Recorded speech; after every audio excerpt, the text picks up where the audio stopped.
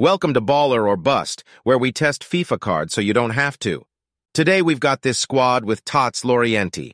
We acquired him for free via objectives.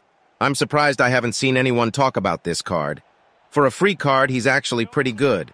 In terms of pace, he was pretty quick. Slap a hunter on him and he's got max pace and explosive acceleration. His shooting was actually pretty good. Good finishing in the box and he could hit the occasional outside the foot long shot. Four-star left foot is decent. His positioning is decent. Feels a little passive AI-wise. U7 by code Zade 6% off? His passing was pretty good with high curve, could play decent balls. Average body type, but he's got great dribbling stats and five-star skills. His left stick dribbling was solid, but his five-star skills was certainly the better option when on the ball with him. 88 composure is a beautiful sight. He's got no defensive ability, literally zero. Great stamina, so no jumping, so he's not winning any headers. His strength is only 64, way lower than most cards at this stage, but it actually didn't feel that bad in game. Overall, he's a decent card with moments of class ability.